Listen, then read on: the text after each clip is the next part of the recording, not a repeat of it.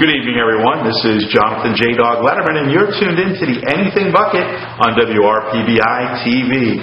Tonight in our studio, we have a gentleman that is a speaker, a certified life coach, a writer, a spiritual counselor, helping you to make the mind body soul connection while enhancing your personal and professional life.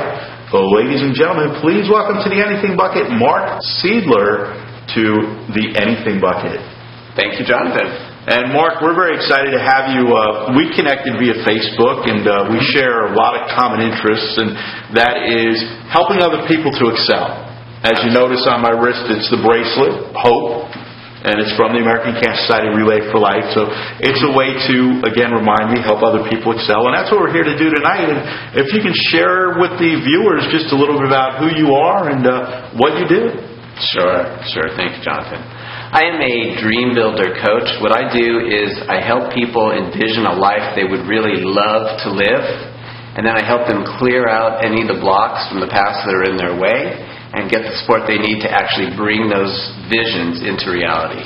And that's the whole idea. I, I remember being involved in the Junior Chamber of Commerce, and one year our state president had a theme, Turning Dreams into Reality. Mm-hmm. And it was so amazing when you started to write down what you wanted to do, Mm-hmm. and you put the action steps down, and you started taking action, and you started seeing, wow, I'm accomplishing all this good stuff. And, and I tell everybody, I was a skeptic at first about writing down goals, about writing down what I'm grateful for. And now I became a believer because I found out it works. It does. and I was reading about the, your vision workshop that you, you present. I was very in, intrigued by that. Um, you know, you talk about three keys to accountability and success, and if you could share some of the nuggets that somebody would get if they purchased your CD or if they enrolled in a teleseminar or came to see you live. Yeah, absolutely. The, I'd say the biggest thing is people don't know how to create a vision that really enlivens them. Most of us are living a life where we're living somebody else's creation of what we're supposed to be doing. And there's just no life in that. So the first thing we do is we create a vision that the person is just lit up by. When they envision that life, it's like, wow, I can't believe how incredible this is.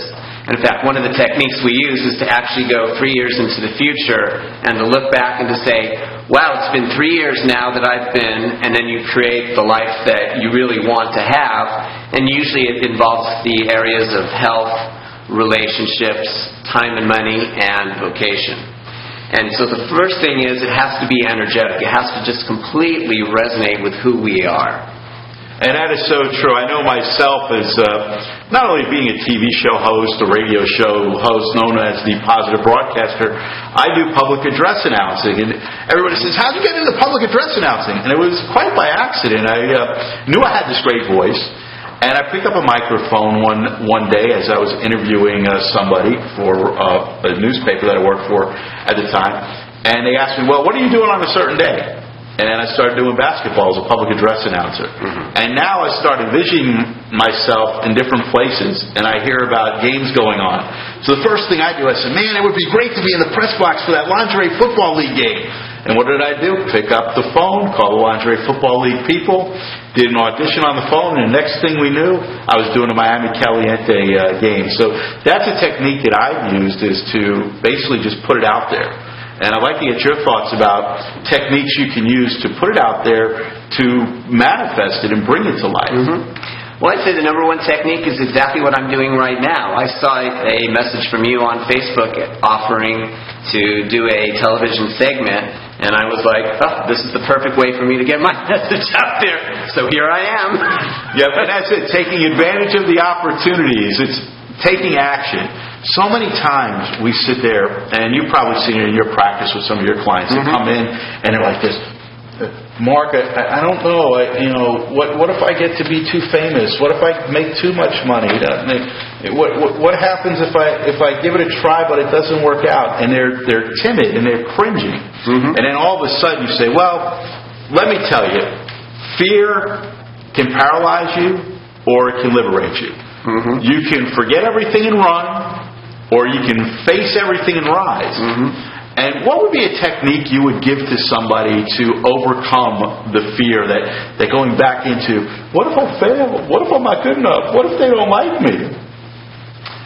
You know, I don't know that it would so much be a technique, but it would more just be the understanding that if you really feel you've got something to bring to the world, there's no choice but to get out there.